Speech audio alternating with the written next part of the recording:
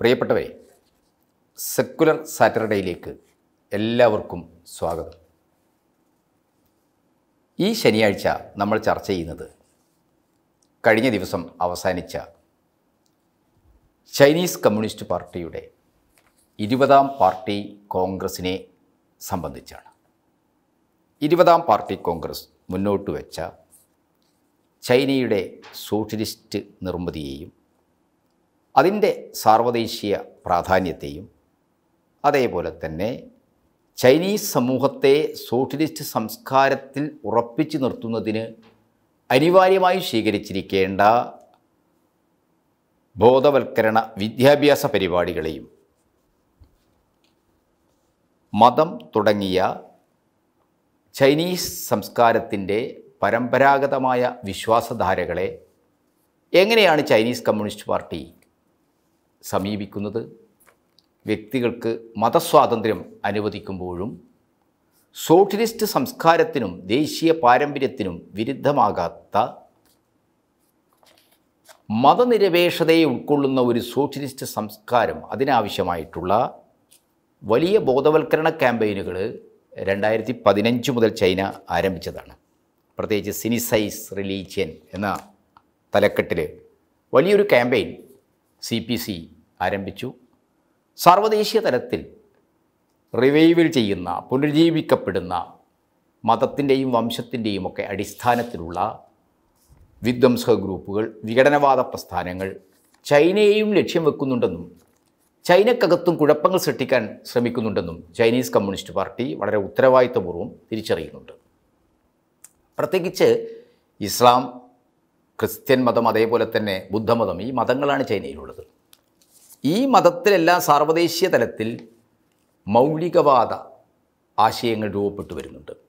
അതിനെ സാമ്പ്രായത്വ മൂലധന ശക്തികൾ വളരെ സമർത്ഥമായി ഉപയോഗിക്കുന്നുണ്ട്. അമേരിക്കയുടെ യു എസ് സാമ്പ്രായത്വത്തിന്റെ ചൈനയെ വളഞ്ഞു പിടിക്കുക എന്ന അജണ്ടയുടെ ഭാഗമായിട്ട് യൂറോപ്പിൽ നിന്നും മധ്യപൂർവ ദേശത്തു നിന്നും ചൈനയിലേക്കുള്ള പ്രധാനപ്പെട്ട പാതകളെ പ്രധാനപ്പെട്ട കവാടങ്ങളെ ലക്ഷ്യമിട്ടുകൊണ്ട് മത മൗലികവാദ തീവ്രവാദ ശക്തികൾ ഉപയോഗിച്ച് ചൈനീസ് സമൂഹത്തിൽ കുഴപ്പങ്ങൾ സൃഷ്ടിക്കാനുള്ള ശ്രമം നടക്കുന്നുണ്ട്. ഇങ്ങനെയുള്ള ഒരു സാഹചര്യത്തിലാണ് ഈ വിഷയങ്ങളെല്ലാം ഒരു ആധുനിക സോഷ്യലിസ്റ്റ് രാജ്യമായി ചൈനയ്ക്ക് മാറി വരാൻ ഉയർന്നു വരാൻ ഇന്ന് ചൈന നേരിടുന്ന ഇത്തരം വിഷയങ്ങളെയെല്ലാം വളരെ സമഗ്രമായി ചർച്ച ചെയ്യുന്ന പ്രമേയങ്ങളും വിലയിരുത്തലുകളുമൊക്കെ നടത്തിക്കൊണ്ടാണ് ചൈനീസ് പാർട്ടിയുടെ ഇരുപതാം കോൺഗ്രസ് അംഗീകരിച്ചത്. ആ കോൺഗ്രസ് അവസാനിപ്പിച്ചുകൊണ്ട് ചൈന ലോകത്തോട് പറഞ്ഞത് ലോകത്തിന് ചൈന അനിവാര്യമാണെന്നും എന്നാൽ ചൈനയ്ക്ക് വളരാൻ ലോകത്തിന്റെ പിന്തുണ ആവശ്യമാണെന്നും ആണ്. ചൈനീസ് കമ്മ്യൂണിസ്റ്റ് പാർട്ടിയുടെ ഇരുപതാം പാർട്ടി കോൺഗ്രസ് ഈ ഒരു സോഷ്യലിസ്റ്റ് സാർവദേശീയ പ്രഖ്യാപനത്തോടു കൂടിയാണ് സമാപിച്ചത്. ചൈന ചൈനീസ് പാർട്ടി എന്നൊക്കെ പറയുന്നത് ലോകത്തിലെ ഏറ്റവും വലിയ രാഷ്ട്രീയ പാർട്ടിയായ കമ്മ്യൂണിസ്റ്റ് പാർട്ടി ഓഫ് ചൈന.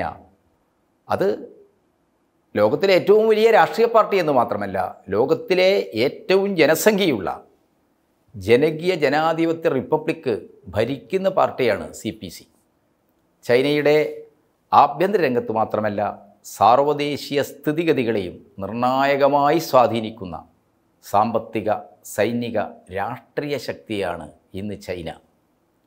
കഴിഞ്ഞ നാല് പതിറ്റാണ്ടിലേറെക്കാലത്ത് അതായത് ആയിരത്തി തൊള്ളായിരത്തി എഴുപതുകളുടെ അവസാനത്തോടു കൂടി ചൈനയുടെ പരിഷ്കാരങ്ങൾ ചൈനയിൽ ആരംഭിച്ച പരിഷ്കാരങ്ങൾ ചൈനീസ് സമൂഹത്തിനകത്ത് വിസ്മയകരമായ മാറ്റങ്ങൾ ഉണ്ടാക്കിയിട്ടുണ്ട്. ചൈനീസ് സമൂഹത്തിലുണ്ടാക്കിയ മാറ്റങ്ങൾ സാർവദേശീയ തലത്തിലും അത് വളരെ പ്രധാനപ്പെട്ട ഒരു സാന്നിധ്യമായി മാറിയിട്ടുണ്ട്. ഒന്നാമതായി അമേരിക്കയുടെ നേതൃത്വത്തിലുള്ള ആഗോള മൂലധന വ്യവസ്ഥയുടെ സർവവിധ ഉപരോധങ്ങളെയും വാണിജ്യ ഉപരോധം ഉൾപ്പെടെ സർവവിധ ഉപരോധങ്ങളെയും അതിജീവിച്ചുകൊണ്ടാണ് ചൈന ഈ രീതിയിലുള്ള വളരെ ദ്രുതഗതിയിലുള്ള ഒരു സാമ്പത്തിക വളർച്ച നേടിയത്. രണ്ടാമത്തെ കാര്യം ദീർഘകാലാടിസ്ഥാനത്തിലുള്ള സാമൂഹ്യ സുസ്ഥിരത ഉറപ്പുവരുത്തി ചൈനയുടെ ഈ വളർച്ചയുടെ അടിസ്ഥാനം എന്താണ്? ചൈന ദീർഘകാല അടിസ്ഥാനത്തിലുള്ള സാമ്പത്തിക സാമൂഹിക സുസ്ഥിര ഉറപ്പുവരുത്തുകയാണ്. ആ ഉറപ്പുവരുത്തുന്ന വളർച്ചയുടെ അടിസ്ഥാനം ജനങ്ങളും പാർട്ടിയും ഒറ്റക്കെട്ടായി പ്രവർത്തിച്ചതാണ്. അതാണ് ഷീ ജിൻപിങ്ങിന്റെ പ്രസംഗത്തിൽ സമാപന പ്രസംഗത്തിൽ അദ്ദേഹം പറഞ്ഞത്. ആ ഐക്യം ജനങ്ങളും പാർട്ടിയും തമ്മിലുള്ള ഐക്യം ഇനിയും തുടരണം.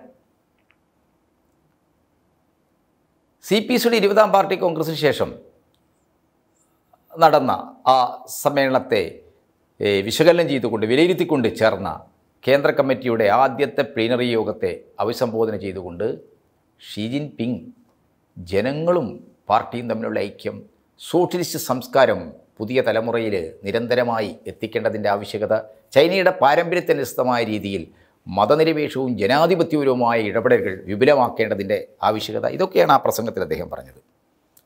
ആയിരത്തി തൊള്ളായിരത്തി തൊണ്ണൂറുകളിൽ സോവിയറ്റ് യൂണിയന്റെയും സോഷ്യലിസ്റ്റ് ബ്ലോക്കിന്റെയും തകർച്ചയ്ക്ക് ശേഷം ഏകധ്രുവ ലോകം കെട്ടിപ്പടുക്കാനുള്ള അമേരിക്കൻ സാമ്രാജ്യത്വത്തിന്റെ എല്ലാവിധ നീക്കങ്ങളെയും പ്രതിരോധിക്കുന്നതിൽ ചൈന അതിന്റേതായ തലങ്ങളിൽ നിന്നുകൊണ്ടുള്ള പങ്ക് നിർവഹിച്ചിട്ടുണ്ട് എന്ന് നമുക്കറിയാം. അമേരിക്കയുടെ ലോകാധിപത്യ ശ്രമങ്ങൾക്ക് വെല്ലുവിളി ഉയർത്തിക്കൊണ്ടാണ് ഇന്ന് ചൈന സാമ്പത്തിക രംഗത്ത് വലിയൊരു ശക്തിയായിട്ട് സാമ്പത്തിക രംഗത്ത് മാത്രമല്ല സൈനിക മേഖലകളിൽ ദ്രുതഗതിയിലുള്ള വളർച്ച ചൈന നേടിയിട്ടുള്ളത്. ആയിരത്തി തൊള്ളായിരത്തി നാൽപ്പത്തൊമ്പതിൽ വിപ്ലവം നടക്കുന്ന കാലത്ത് കിഴക്കിന്റെ രോഗി എന്നറിയപ്പെട്ട രാജ്യമാണ് ഇന്ന് ലോകത്തെ അത്ഭുതപ്പെടുത്തുന്ന സാമ്പത്തിക ശക്തിയായി മാറിയത്. അമേരിക്ക കഴിഞ്ഞാൽ രണ്ടാം സ്ഥാനത്ത് ജപ്പാനായിരുന്നു. ആ ജപ്പാനെ പുറന്തള്ളിക്കൊണ്ടാണ് രണ്ടാമത്തെ സാമ്പത്തിക ശക്തിയായിട്ട് ഇപ്പോൾ ചൈന വളർന്നു കഴിഞ്ഞിരിക്കുന്നത്. സാമ്രാജ്യത്വങ്ങൾക്കും ജന്മി നാടുവാഴിത്വത്തിനുമെതിരെ നടത്തിയ വിട്ടുവീഴ്ചയില്ലാത്ത പോരാട്ടങ്ങളിലൂടെയാണ് ഇന്ന് ലോക സമ്പദ്ഘടനയെ ചലിപ്പിക്കുന്ന എഞ്ചിൻ എന്ന് വിശേഷിപ്പിക്കുന്ന ഒരു സാമ്പത്തിക ശക്തിയായിട്ട് ചൈന വളർന്നു കഴിഞ്ഞിരിക്കുന്നത്. മാവോവിന്റെ കാലത്തെ പരിഷ്കാരങ്ങൾ അതിന്റെ പരിമിതികൾ മനസ്സിലാക്കി എഴുപതുകളുടെ അവസാനത്തോടുകൂടി ആരംഭിച്ച പുതിയ പരിഷ്കാരങ്ങൾ സോഷ്യലിസ്റ്റ് നിർമ്മാണത്തിന്റെ സമൂർത്ത സാഹചര്യങ്ങളെ മനസ്സിലാക്കിക്കൊണ്ട് ഇടപെടൽ ഇതെല്ലാമാണ് ചൈനയെ ഇന്നത്തെ രീതിയിലേക്ക് വളർത്തിയത്.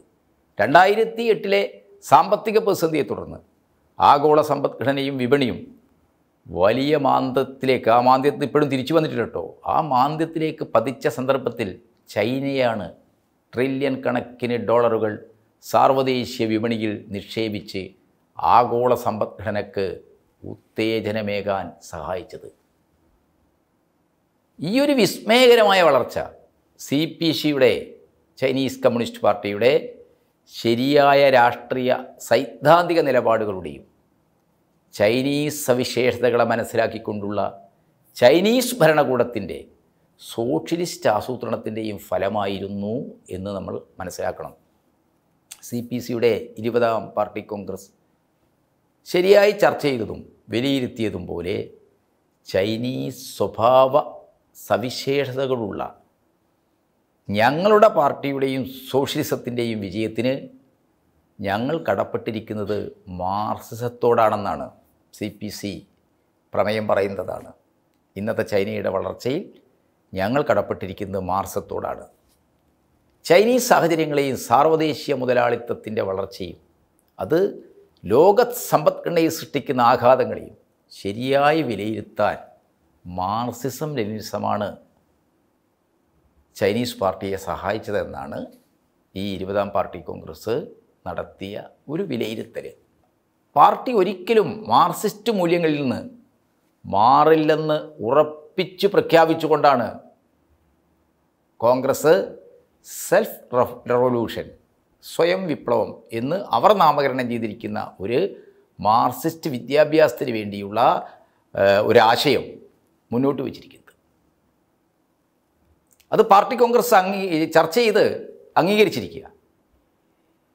ആഗോള ഫൈനാൻസ് മൂലധനവും സാമ്രാജ്യ ശക്തികളും സൃഷ്ടിക്കുന്ന ഭീഷണികളെയും വെല്ലുവിളികളെയും അതിജീവിക്കാൻ മാർസിസത്തിന്റെ ചൈനീസ് സാഹചര്യങ്ങൾ മനസ്സിലാക്കിക്കൊണ്ടുള്ള പ്രയോഗത്തെയും സോഷ്യലിസ്റ്റ് നിർമ്മാണ പ്രക്രിയയും സംബന്ധിച്ച വ്യക്തത ക്ലാരിറ്റി ഉണ്ടാക്കുകയാണ് ഇരുപതാം പാർട്ടി കോൺഗ്രസ്സിലെ ചർച്ചകളും വിലയിരുത്തലുകളും എന്നാണ് പുറത്തു വരുന്ന റിപ്പോർട്ടുകളും പ്രമേയങ്ങളുമൊക്കെ വായിക്കുമ്പോൾ നമുക്ക് മനസ്സിലാക്കാൻ കഴിയുന്നത്. സ്വയം വിപ്ലവം എന്നത് സെൽഫ് റവല്യൂഷൻ എന്ന ഒരു ആശയം എന്ന ഒരു പദ്ധതി ചൈനയെ മാന്ദ്യത്തിലേക്ക് നയിക്കുന്ന ചരിത്രപരമായ ചക്രത്തിൽ നിന്ന് രക്ഷപ്പെടാൻ സഹായിക്കുന്ന സോഷ്യലിസ്റ്റ് നിർമ്മിതിയാണെന്നാണ് പാർട്ടി കോൺഗ്രസ് അംഗീകരിച്ച ചർച്ച ചെയ്ത പ്രമേയങ്ങൾ സൂചിപ്പിക്കുന്നത്. മുൻകാല വിഭാഗീയതകളെയും ഒരു പിന്നോക്ക രാജ്യത്തിൽ സോഷ്യലിസ്റ്റ് സമ്പദ്ഘടന കെട്ടിപ്പടുക്കുന്നതുമായി ബന്ധപ്പെട്ട സമീപന ഭിന്നതകളെയും അതിജീവിച്ചുകൊണ്ടാണ് ചൈനീസ് കമ്മ്യൂണിസ്റ്റ് പാർട്ടി ആയിരത്തി തൊള്ളായിരത്തി എഴുപത്തിയെട്ടിൽ ദങ്യാസ്പിങ് ദങ് ദങ് നേതൃത്വത്തിൽ ചൈനീസ് സവിശേഷതകളെ മനസ്സിലാക്കിക്കൊണ്ട് പ്രത്യേകതകളെ മനസ്സിലാക്കിക്കൊണ്ടുള്ള സോഷ്യലിസ്റ്റ് നിർമ്മാണ പ്രക്രിയക്ക് വേഗം കൂട്ടിയത്. ആയിരത്തി തൊള്ളായിരത്തി എഴുപത്തെട്ടിനും ആയിരത്തി തൊള്ളായിരത്തി എൺപതിനും എൺപത്തൊമ്പതിനും ഇടയിൽ ദരിദ്രരുടെ എണ്ണം കുറയ്ക്കുന്നതിനും സമസ്ത മേഖലകളിലും ഉൽപാദന ശക്തികളെ ശാസ്ത്ര സാങ്കേതിക അടിത്തറയിൽ വികസിപ്പിക്കുന്നതിനും ചൈനയ്ക്ക് കഴിഞ്ഞു എന്നതാണ് നമ്മൾ കാണേണ്ടത്. അന്താരാഷ്ട്ര ഏജൻസികളുടെ കണക്കനുസരിച്ച് ചൈന ദ്രുതവും സുസ്ഥിരവുമായ സാമ്പത്തിക വളർച്ചയ്ക്കൊപ്പം വിശാലമായ സാമ്പത്തിക പരിവർത്തനവും കൈവരിച്ചിരിക്കുകയാണ്. ഉൽപാദനം വർദ്ധിപ്പിക്കാതെ നീതിപൂർവകമായ വിതരണവും സോഷ്യൽ സമൂഹത്തെക്കുറിച്ചുള്ള സങ്കല്പങ്ങളും കേവലം കാൽപ്പനികം മാത്രമായിരിക്കുമെന്ന് ചൈനീസ് കമ്മ്യൂണിസ്റ്റ് പാർട്ടി തിരിച്ചറിഞ്ഞു. ദൂറിങ്ങിന് മറുപടി കൊടുത്തുകൊണ്ട് എംഗൽസും മാർസും ഒക്കെ പറഞ്ഞ കാര്യങ്ങൾ ഗോദാ പരിപാടിയിൽ അവർ സോഷ്യലിസ്റ്റ് നിർമ്മിതിയെയും സോഷ്യലിസ്റ്റ് പരിവർത്തനത്തിലൂടെ കമ്മ്യൂണിസ്റ്റ് സമൂഹത്തിലേക്ക് മനുഷ്യരാശിയുടെ പരിവർത്തനം എങ്ങനെയാണ് സാധ്യമാവുക എന്നതിനെക്കുറിച്ചൊക്കെ അവർ നടത്തിയിട്ടുള്ള വിലയിരുത്തലുകൾ. അത് ചൈനീസ് കമ്മ്യൂണിസ്റ്റ് പാർട്ടി മനസ്സിലാക്കുന്നു. ആയിരത്തി തൊള്ളായിരത്തി എൺപതുകളോടെ ചൈന കാർഷിക മേഖലയിൽ വലിയ പരിഷ്കാരങ്ങൾക്ക് രൂപം കൊടുത്തു. താഴെത്തട്ടിലുള്ള കർഷകർക്ക് സഹായകരമാവുന്ന വിപണി ഇളവുകൾ നൽകിക്കൊണ്ട് ഉൽപ്പാദനക്ഷമത ഉയർത്തിയെടുക്കുക എന്ന തന്ത്രം അവർ കാർഷിക മേഖലയിൽ പ്രയോഗിച്ചു. അതോടൊപ്പം പ്രത്യേക വൈദഗ്ധ്യം ആവശ്യമില്ലാത്തതും അധ്വാനം ആവശ്യമുള്ളതുമായ വ്യവസായങ്ങൾ പ്രോത്സാഹിപ്പിക്കപ്പെട്ടു. ഇത് കാർഷികേതര തൊഴിലാളികൾക്ക് കൂടുതൽ തൊഴിലവസരങ്ങൾ ഉണ്ടാക്കി എന്നുള്ളതാണ്. ഇത്തരം പരിഷ്കാരങ്ങളെ വിശകലനം ചെയ്തിട്ടുള്ള ലോകബാങ്ക് അടക്കമുള്ള ഇന്റർനാഷണൽ ഏജൻസികൾ പറയുന്നത് പരിഷ്കരണങ്ങളും അതുമൂലമുണ്ടായ വലിയ രീതിയിലുള്ള നഗരവൽക്കരണവും കുടിയേറ്റ തൊഴിലാളികളുടെ ജീവിതത്തിൽ ഗുണപരമായ മാറ്റങ്ങൾ ഉണ്ടാക്കിയെന്നാണ് കുടിയേറ്റത്തോടൊപ്പം തന്നെ അവരെ ഉൾക്കൊള്ളാൻ കഴിയുന്ന പുതിയ തൊഴിലവസരങ്ങൾ ഉണ്ടാക്കുകയും അത് എന്താണ് അവരുടെ ജീവിതത്തിൽ തന്നെ മാറ്റങ്ങൾ ഉണ്ടാക്കാൻ കഴിയുന്ന അവസ്ഥയിലേക്ക് മാറുകയും ചെയ്തു. അടിസ്ഥാന സൗകര്യ മേഖലകളിൽ പൊതുനിക്ഷേപം വൻതോതിൽ വന്നുചേരുകയും ജനങ്ങൾക്ക് തൊഴിലും വരുമാനവും കൂടുകയും ചെയ്തു. പരിഷ്കാരങ്ങൾ സൃഷ്ടിക്കുന്ന അസന്തുലിതത്വങ്ങളെയും പിന്നോക്കം നിൽക്കുന്ന പ്രദേശങ്ങളെയും ലക്ഷ്യം വെച്ചുകൊണ്ടുള്ള ദാരിദ്ര്യ ലഘൂകരണ പദ്ധതികൾ പട്ടിണിയും ഭക്ഷണക്ഷാവുമില്ലാത്ത സമൂഹമാക്കി ചൈനയെ മാറ്റി. ചൈനയുടെ പരിഷ്കാരങ്ങളോട് വിമർശനാത്മകമായ സമീപനം സ്വീകരിച്ച ഡേവിഡ് ഹാർവിയെ പോലുള്ള ധനശാസ്ത്രജ്ഞർ മാർക്സിസ്റ്റ് ചിന്തകരൊക്കെ ഈ പരിഷ്കാരങ്ങൾ എങ്ങനെയാണ് സോഷ്യലിസ്റ്റ് നിർമ്മിതിയുടെ ഭാഗമാക്കുന്നത് എന്ന് പിൽക്കാലത്ത് തിരിച്ചറിയുന്നുണ്ട്. പരിഷ്കാരങ്ങളുടെ നാൽപ്പത് വർഷക്കാല കാല കാലത്തിനിടയിൽ ചൈന എൺപത് കോടി മനുഷ്യരെയാണ് അതീവ ദാരിദ്ര്യത്തിൽ നിന്ന് അൾട്ടിമേറ്റ്ലി പുവറായ എൺപത് കോടി മനുഷ്യരെയാണ് അവരുടെ ദാരിദ്ര്യാവസ്ഥയിൽ നിന്ന് കരകയറ്റിയത്. രണ്ടായിരത്തി ഇരുപത്തൊന്നാകുമ്പോഴേക്കും ചൈന കടുത്ത ദാരിദ്ര്യത്തെ ഉന്മൂലനം ചെയ്തു കഴിഞ്ഞുവെന്നും ഒരു ലഘുസമ്പന്ന സമൂഹമായി ചൈന പരിവർത്തനപ്പെട്ടുവെന്നുമാണ് പീപ്പിൾസ് ഡെമോക്രാറ്റിക് റിപ്പബ്ലിക് അതായത് ചൈനീസ് സർക്കാർ ചൈനീസ് ഭരണകൂടം ഇന്ന് ലോകത്തെ അറിയിക്കുന്നത്. ഇപ്പോൾ ഇരുപതാം പാർട്ടി കോൺഗ്രസ് ഒരാധുനിക സോഷ്യലിസ്റ്റ് രാജ്യമായി ചൈനയെ വളർത്തിയെടുക്കാനുള്ള ആശയങ്ങളും കാഴ്ചപ്പാടുകളും തീരുമാനങ്ങളുമാണ് മുന്നോട്ട് വച്ചിരിക്കുന്നത്. അടുത്ത രണ്ട് ദശകങ്ങൾ ചൈനയിലെ എല്ലാ വിഭാഗം ജനങ്ങളെയും സാമ്പത്തികമായി കൂടുതൽ ഉയർന്ന തലത്തിലേക്ക് എത്തിക്കാനുള്ള ലക്ഷ്യമാണ് സി പി സി മുന്നോട്ട് വച്ചിരിക്കുന്നത്. സി പി സിയുടെ നൂറാം വാർഷികത്തിൽ കേവല ദാരിദ്ര്യ നിർമ്മാർജനം എന്ന കാഴ്ചപ്പാട് മുന്നോട്ട് വെച്ച ചൈന ഇപ്പോൾ എല്ലാ അർത്ഥത്തിലും മിതമായ ഒരു സമൃദ്ധ സമൂഹമായി അതായത് ഒരു മിത സമ്പന്ന രാജ്യമായി വളർന്നു കഴിഞ്ഞിരിക്കുന്നു എന്നാണ് വിലയിരുത്തുന്നത്. രണ്ടായിരത്തി നാൽപ്പത്തൊമ്പതിൽ പീപ്പിൾസ് റിപ്പബ്ലിക് ഓഫ് ചൈനയുടെ നൂറാം വാർഷികത്തിൽ സി പി സി ലക്ഷ്യം വെക്കുന്നത് സമൃദ്ധവും ശക്തവും ജനാധിപത്യപരവും സാംസ്കാരികമായി പുരോഗമിച്ചതും ഐക്യസമ്പൂർണവുമായ ഒരു ആധുനിക സോഷ്യലിസ്റ്റ് രാജ്യത്തെയാണ് ഇരുപതാം പാർട്ടി കോൺഗ്രസിന്റെ ചർച്ചകളെയും തീരുമാനങ്ങളെയും സമാഹരിച്ചുകൊണ്ട് ഷീ ജിൻപിങ് ഈ ഒരു പ്രഖ്യാപനമാണ് നടത്തിയിരിക്കുന്നത്. ആഗോള സാമ്പ്രായത്വ ശക്തികൾക്കും വിശിഷ്യ അതിന്റെ അതിനായകനായ യു എസ് സാമ്പ്രായത്വത്തിനും വലിയ വെല്ലുവിളി ഉയർത്തിക്കൊണ്ടാണ് ചൈന മുന്നോട്ട് പോകുന്നത്. അതുകൊണ്ട് പാശ്ചാത്യ മാധ്യമങ്ങൾ ചൈനയ്ക്കെതിരായ നിരന്തരമായ പ്രചാരവേല നടത്തുന്നു. അമേരിക്കയുടെയും അവരുടെ സാമന്ത സാമ്പ്രായത്വ രാജ്യങ്ങളും ചേർന്നുകൊണ്ട് ചൈനയെ വളഞ്ഞു പിടിക്കാനുള്ള സൈനിക സഖ്യങ്ങൾ ഉണ്ടാക്കുന്നു.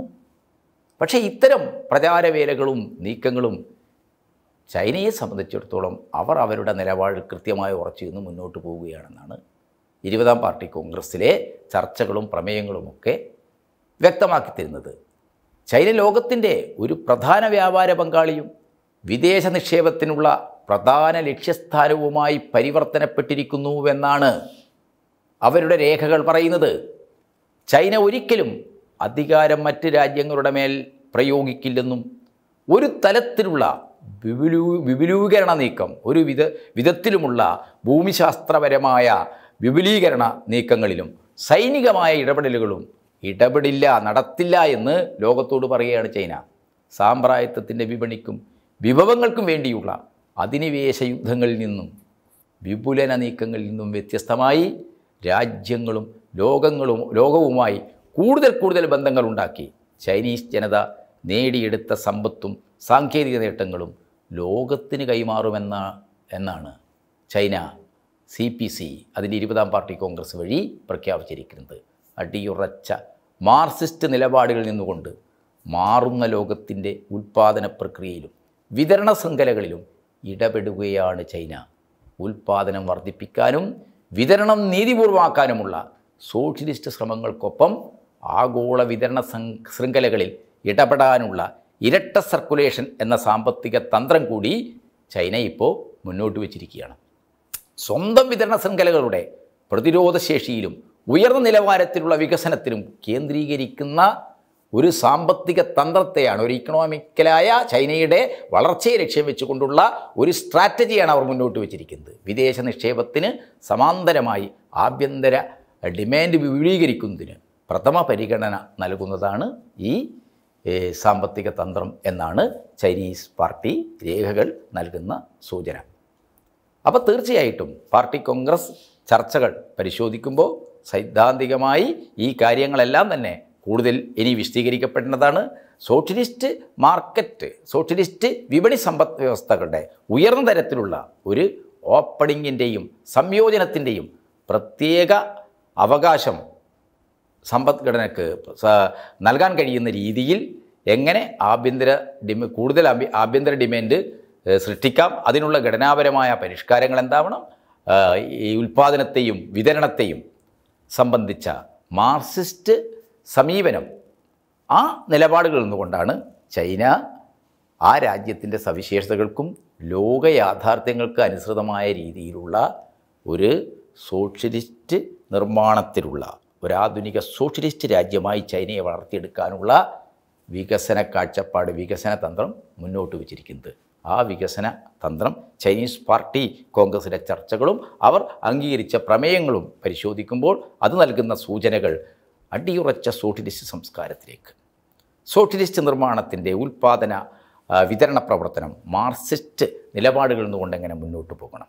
അതോടൊപ്പം തന്നെ ഇന്നത്തെ ലോക യാഥാർത്ഥ്യങ്ങൾക്കകത്ത് സാമ്പ്രായത്വ മൂലധനം അതിന്റെ അതിജീവനത്തിന് വേണ്ടി വളർത്തിയെടുക്കുന്ന പുരുജീവിപ്പിച്ചെടുക്കുന്ന മത തീവ്രവാദ പ്രസ്ഥാനങ്ങൾ വംശീയ പ്രസ്ഥാനങ്ങൾ വിഘടനവാദപരമായ സമീന സമീപനങ്ങളിൽ നിന്നുകൊണ്ട് ചൈനീസ് സമൂഹത്തിൽ ഉണ്ടാക്കാനിടയുള്ള പുതിയ വെല്ലുവിളികളെ പുതിയ ഭീഷണികളെ പരിശോധിക്കുകയും അതിൽ നിന്ന് ചൈനീസ് സമൂഹത്തെ ആകെ മുക്തമാക്കാൻ കഴിയുന്ന മതനിരപേക്ഷമായ ഒരു സംസ്കാരത്തിന്റെതായ പ്രചരണം മതത്തെ വ്യക്തികളുടെ സ്വതന്ത്രമായ വിശ്വാസ സ്വാതന്ത്ര്യത്തിന്റെ പ്രശ്നമായി അംഗീകരിക്കുമ്പോൾ തന്നെ മതത്തിന്റെ പേരിലുള്ള രാഷ്ട്രീയ ഇടപെടലുകളെ വിഘടനവാദപരമായ ഇടപെടലുകളെ വളരെ സംയമനത്തോടുകൂടി വളരെ ജാഗ്രതയോടുകൂടി സമീപിക്കാനുള്ള തീരുമാനങ്ങളാണ് കാഴ്ചപ്പാടുകളാണ് ചൈനീസ് പാർട്ടിയുടെ ഇരുപതാം പാർട്ടി കോൺഗ്രസ് മുന്നോട്ട് വച്ചിരിക്കുന്നത്. ഈ ലക്കം സെക്യുലർ സാറ്റർഡേ ഇവിടെ നമുക്ക് അവസാനിപ്പിക്കാം. മറ്റൊരു വിഷയവുമായി അടുത്ത ആഴ്ച നമുക്ക് ചർച്ച ചെയ്യാം.